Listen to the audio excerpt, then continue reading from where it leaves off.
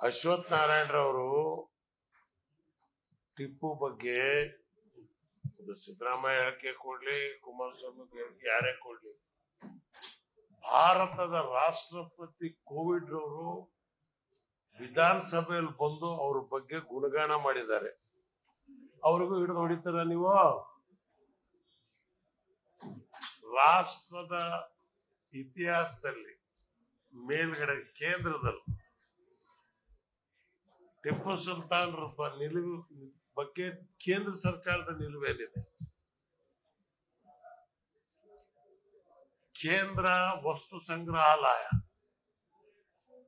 ಅಲ್ಲಿ ಟಿಪ್ಪು ಸುಲ್ತಾನ್ರಿಗೆ ಏನ್ ಗೌರವ ಕೊಟ್ಟಿದ್ದಾರೆ?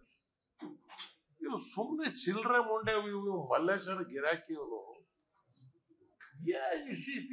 ಏನ್ ಎಜುಕೇಟೆಡ್ ಇತ್ತಾಗೆ ಯಾರಾದ್ರೂ ಇವ್ರಿಗೆ ಬುದ್ಧಿ ಹೇಳೋರು ಇದಾರ ಎಲೆಕ್ಷನ್ ಅಲ್ಲಿ ಸಬ್ಜೆಕ್ಟ್ ಎಷ್ಟಿದಾವೆ ನೀರಿದೆ ಊಟ ಇದೆ ಎಜುಕೇಶನ್ ಇದೆ. ಬಡವರು, ರೈತರು ಇವತ್ತು ಬೆಳೆ ಬೆಳೆದ್ರು ರೇಟ್ ಇಲ್ಲದೆ ಒದ್ದಾಡ್ತಾ ಇದ್ದಾರೆ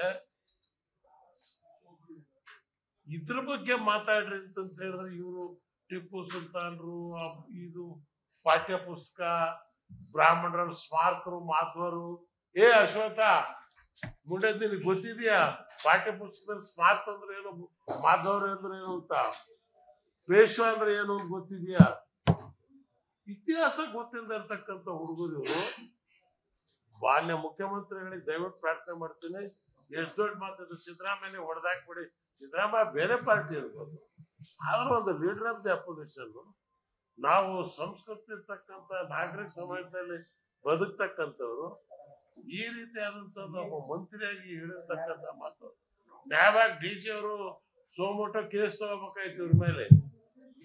ಡಿ ಜಿ ಅವರು ಕ್ರಿಮಿನಲ್ ಕೇಸ್ ರಿಜಿಸ್ಟರ್ ಮಾಡಿ ಈತನ ಮೇಲೆ ಕೂಡಲೇ ಎಫ್ ಐ ಆರ್ ಹಾಕ್ತಕ್ಕಂತ ಕೆಲಸವನ್ನ ಡಿ ಜಿ ಅವ್ರು ಮಾಡಿದ್ರೆ ಈ ರಾಜ್ಯಕ್ಕೆ ಪೊಲೀಸ್ ಇಲಾಖೆಗೆ ಒಂದು ಗೌರವ ಒಂದು ಮರ್ಯಾದೆ ಬರುತ್ತೆ ಅನ್ನಕ್ಕಂತ ಮಾತನ್ನ ಈ ಸಂದರ್ಭದಲ್ಲಿ ಹೇಳಿ. ವಿಸ್ತಾರ ನ್ಯೂಸ್ ನಿಖರ. ಜನಪರ